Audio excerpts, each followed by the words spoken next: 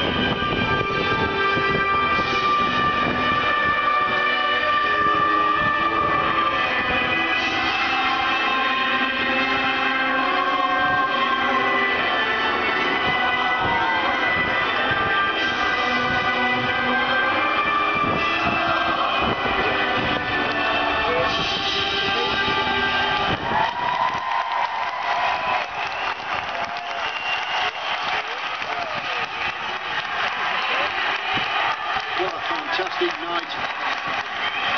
Well, are we going to replicate our achievements at Beijing? We certainly have started off right.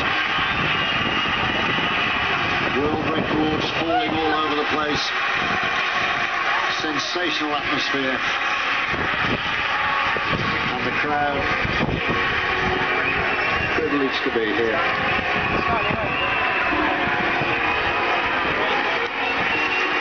Well, Chris Boardman.